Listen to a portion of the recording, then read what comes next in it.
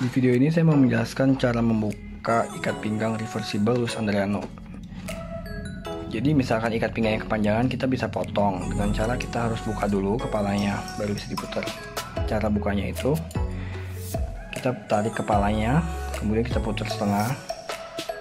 Setelah putar setengah, di sini ada lubang kecil. Kita buka dari sini untuk menarik kepala sabuknya. Nah, baru bisa dibuka. Kemudian baru bisa ditarik baru bisa dipotong deh sabuknya kalau kepanjangan. Tapi usahain jangan langsung potong panjang ya potong pendek dulu. Takutnya kan nanti kependekan malah nggak bisa jadi nggak bisa dipakai. Setelah dipotong kita bisa masukin lagi.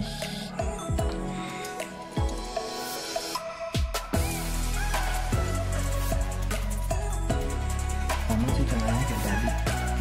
Aja. Terus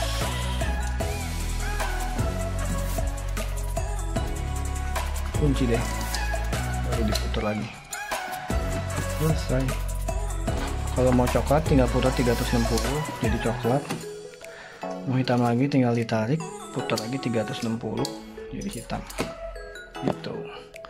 Oke sekian dari video ini. Terima kasih